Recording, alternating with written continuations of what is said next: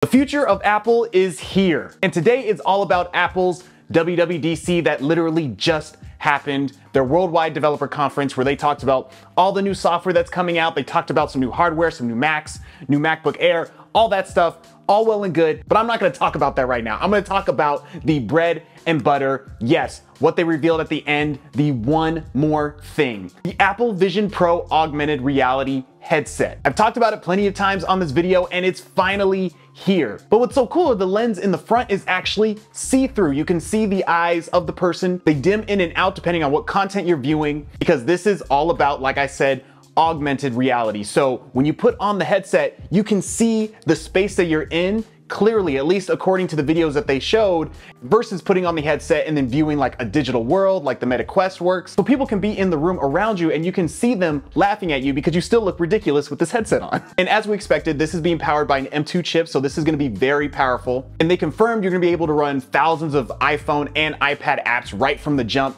No integration or anything like that's going to be required. But for those who want, they can adapt their apps specifically for the Apple Vision Pro interface. According to Apple, everything will be navigated through your eyes, your hands, and your voice. But there are two other ways to control the headset. There is a button you can press, I believe at the top left of the headset, and on the other side, there is a digital crown just like on the Apple Watch. And with the singular button on the top, they showed how you can use that to take what they call spatial photos and spatial video. As far as some other features, pretty similar to what other headsets can do. You can view and watch movies, listen to music, and say if you are watching a movie, you're in your living room, you can extend that view, but still have your living room as your environment, so you kind of still feel like you're in that space. But you do have the option to add in a different 3D environment. So you can watch it in space in, in whatever location, just like you can on other headsets. So I like how you can kind of choose whether to be in reality, sci-fi element place or whatever. And with this new headset comes new software that they call Vision OS,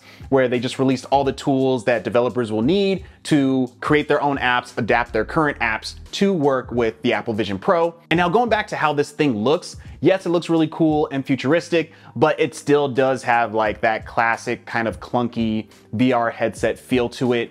But as soon as they showed this thing, I noticed the cable running down the person's back with the battery pack they're trying to hide in their pocket or whatever. So yes, this will have an external battery pack that they said will last about two hours. Once I break down what this thing can do, I can easily see the Apple Vision Pro taking over the iPhone, replacing your computer, your iPad, everything. This is going to be the future. let me know what you guys think in the comments. Are you excited about this? Is the Apple Vision Pro the future of Apple? Or do you still not care?